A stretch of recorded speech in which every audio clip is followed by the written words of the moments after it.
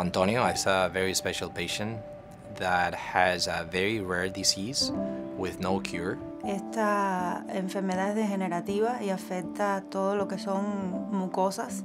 Me costaba distinguir letras y números de juegos que juego yo en mi PlayStation 4.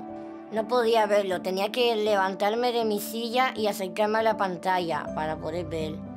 Fue muy difícil para mí cuando él me llegó a confundir. No sabía que era yo si no le hablaba. That's when I started uh, looking for uh, alternatives. Antonio was being treated with uh, topical gene therapy in the skin. He was getting positive results. I contacted his dermatologist. I proposed him to potentially start developing a therapy for his eyes using the same platform. It was probably around uh, seven or eight months when Antonio was already um, close to having a close to perfect vision. Of course, he's, he's uh, super happy with, with his vision now. Y hasta ahora todo ha ido bastante bien. El tratamiento ha funcionado, el ojo se ha mantenido bastante bien. Nosotros estamos muy agradecidos del doctor Sabater. Siempre nos dio la fuerza y nos dijo que algo iba a encontrar, que una solución iba a encontrar para que Antonio pudiera ver.